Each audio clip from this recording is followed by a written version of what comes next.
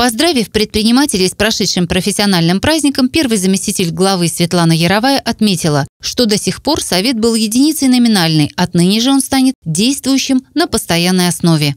Его возглавляет глава муниципального образования, и это дает возможность для прямого диалога между властью городской и представителями предпринимателей, среднего, малого. Можно задать вопросы напрямую, можно проявить инициативу, высказать свое видение в том или ином направлении развития предпринимательской сферы. Здесь э, на таких э, советах мы с вами будем доводить до вашего сведения, информировать о новом законодательстве.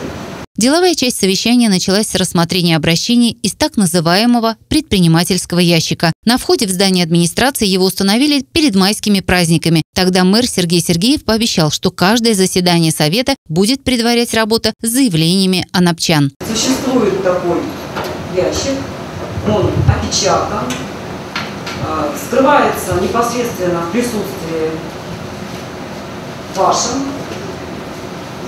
Даже нет возможности сиюминутного ответа, то вы должны быть уверены, что данные, заданные вопросы, они будут рассмотрены и на них будут даны соответствующие ответы. Из трех заявлений два касались решения вопроса о постоянном рабочем месте для индивидуальных предпринимателей из Анапы и Чембурки. В третьем содержалась жалоба на представителей ветеринарно-санитарной службы рынка Восточный. По мнению заявителя, проверяющие злоупотребляют своими должностными полномочиями. Светлана Яровая тут же передала обращение Напчан в профильное управление, отметив, что ответы должны быть подготовлены в отведенный законом срок. Далее работа Совета продолжилась в форме семинара. Усовершенствования коснулись специальных налоговых режимов, стимулирующих, по словам докладчицы, развитие малого и среднего бизнеса. В частности, внимание аудитории было акцентировано на такой системе налогообложения, как патентная, имеющая ряд преимуществ. Приобретение патента более выгодно и удобно, чем уплата налога на доходы физических лиц или уплата единого налога на определенный доход.